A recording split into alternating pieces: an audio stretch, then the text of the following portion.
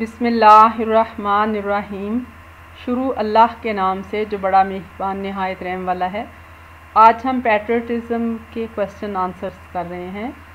آج جو پہلا کوشچن ہے وہ ہے what makes a stay alert in the wake of foreign invasion alert کہتے ہیں باخبر ہونا۔ فارن انویژن کہتے ہیں، غیر ملکی حملہ۔ پہلے تو جو ہے وہ فورسز جو ہیں وہ غیر ملکی کسی غیر ملکی فورسز حملہ کرتی تھیں جیسے انڈیا نے پاکستان پہ حملہ کیا اور ہماری ایئر فورس نے chasing away Indian planes Indian planes کو ایئر کرافٹس کو مار بھگایا۔ اور اگر وہ بری اور بحری راستے سے حملہ کرتی ہیں تو وہاں پہ بھی ہماری بری اور بحری فوج ہوتی ہے۔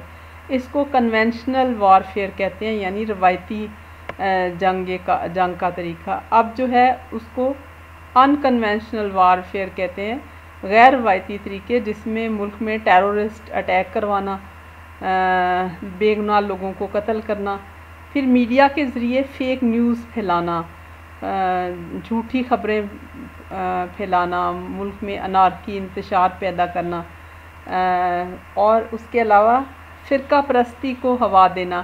کہ اس ملک کے لوگ آپس میں ہی ایک دوسرے کی پیٹھ میں خنجر گھونپیں۔ تم پٹھان ہو، تم مہاجر ہو تم پنجابی ہو، تم ہماری جگہ پہ کیوں آئے ہو؟ اور پھر جو ہے وہ میڈیا کے ذریعے جو ہے کلچرل انویژن اس کو کہتے ہیں کہ آپ ایسے پروگرام دکھائیں کہ لوگوں کے اقدار اور اخلاق جو ہیں وہ تبدیل ہو جائیں۔ مثلا ہم جو کچھ ڈراموں میں دیکھتے ہیں، وہی پھر ہم اپنے شادی بیاہ کے موقع پر کرتے ہیں۔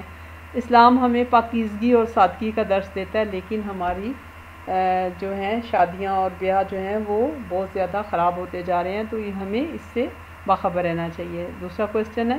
Elaborate the given quote of Quaid Muhammad Ali جناب۔ We must develop a sense of patriotism with galvanize us all into one united and strong nation جو ہمیں ایک متحد اور مضبوط قوم بنا دے۔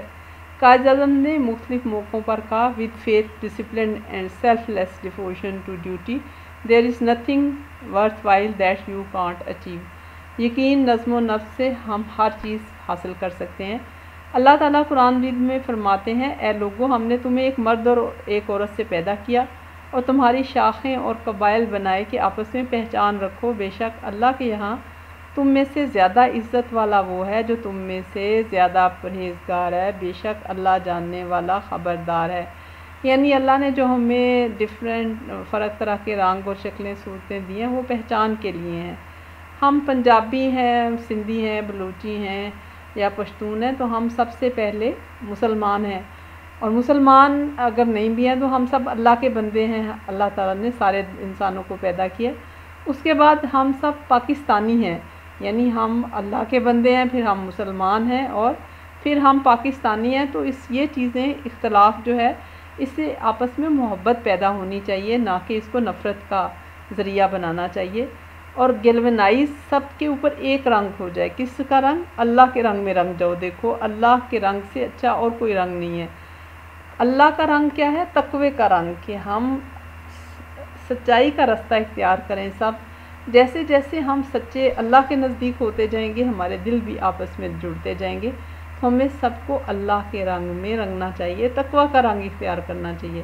قرآن جیت میں ایک اور جگہ آتا ہے، اور اللہ کی رسی کو مضبوطی سے تھامے رکھو اور تفرقے میں نہ پڑو۔ اللہ کی مضبوطی کیا ہے؟ اللہ کی مضبوطی اسلام ہے، سچا دین۔ کہ اگر ہم اللہ کے پہ ایمان رکھتے ہیں علامہ اقبال کا بھی یہی کہنا ہے منفت ایک ہے، اس قوم کی نقصان بھی ایک۔ ایک ہی سب کا نبی، دین بھی، ایمان بھی ایک۔ حرم پاک بھی، اللہ بھی، قرآن بھی ایک۔ کچھ بڑی بات تھی ہوتی جو مسلمان بھی ایک۔ فرقہ بندی ہے کہیں اور کہیں ذاتیں ہیں۔ کیا زمانے میں پنپنے کی یہی باتیں ہیں؟ تو ہمیں جو ہے وہ یہ سوچنا چاہیے کہ ہم سب ایک اللہ کو مانتے ہیں۔ نبی آخر الزما صلی اللہ علیہ وسلم کو اپنا آخری نبی مانتے ہیں، ہمارا قرآن بھی ایک ہے۔ تو ہمیں قرآن اور نبی کریم صلی اللہ علیہ وسلم کی سنت کے ساتھ جڑنا چاہیے، کیونکہ نبی کریم صلی اللہ علیہ وسلم نے فرمایا، میں تم میں دو چیزیں چھوڑ کر جا رہا ہوں۔ اگر تم انہیں مضبوطی سے تھامے رکھو گے تو کبھی گمراہ نہیں ہوگے۔ ایک قرآن مجید اور دوسری میری سنت۔ تو ہمارے پاس قرآن مجید ہے، لیکن ہم اس کو ترجمے کے ساتھ سمجھ کر نہیں پڑھتے۔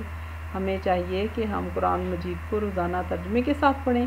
نبی کریم صلی اللہ علیہ وسلم کی سنت کا مطالعہ کریں اور آپ صلی اللہ علیہ وسلم کے فرمان کے مطابق اپنی زندگی گزاریں۔ امید ہے آپ کو اچھا لگا ہوگا لیسن اس چینل کو سبسکرائب کریں، اس ویڈیو کو لائک اور شیئر